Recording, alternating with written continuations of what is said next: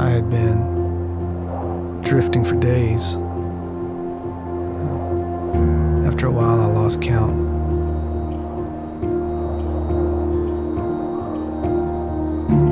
I've lived here my whole life. I've seen a lot of people go out on the water